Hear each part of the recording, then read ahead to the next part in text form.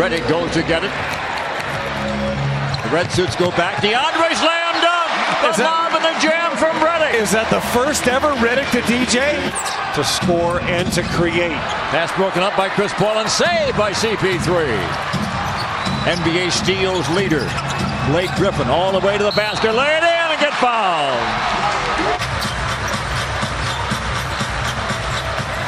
DeAndre Jordan to the hole for the jam. Well, who could throw him the ball from 15 feet and you could dunk from there? Outside to Crawford for three. Off the back iron. Rebound. Speights gets it. Finds Crawford. Reverse layup